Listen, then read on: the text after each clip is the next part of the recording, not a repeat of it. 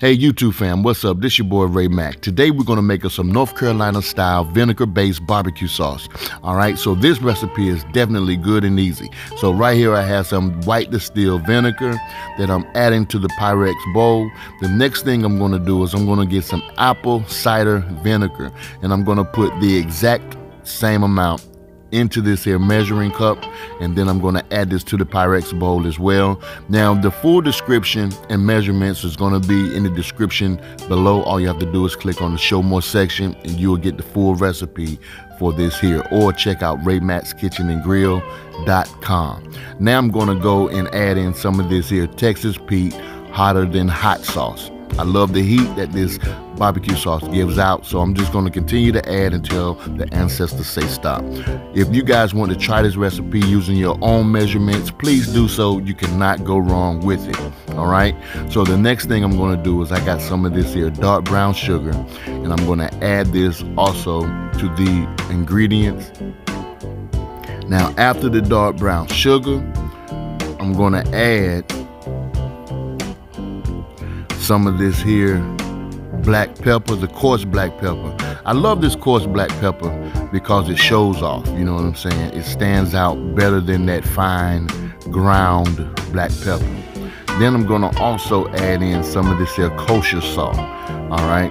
So with the salt, you could go heavy-handed if you like, or you could just take it um take it easy on it if you want. It'll be your choice, your preference. But I'm still listing the amount in the show more section. All right.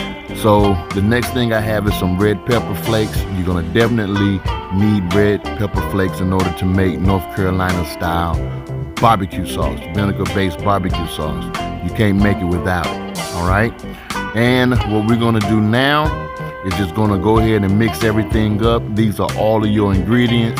This is it, y'all. This is your complete North Carolina based barbecue sauce. When I tell you this is some good stuff, you've got to try it on your ribs. You could even try it on your chicken. It's awesome.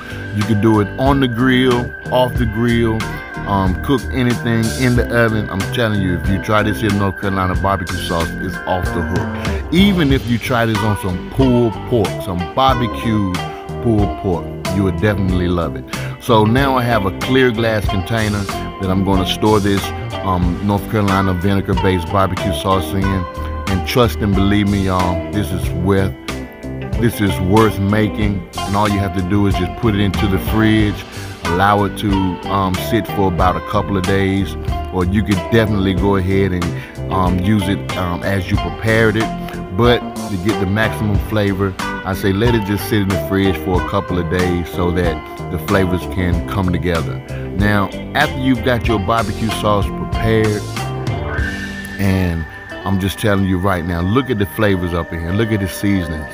You remember those little um Christmas ornaments that you used to shake around at your grandma them house with the little snow snowfalls and all the other kind of stuff in it. This is how that glass looked.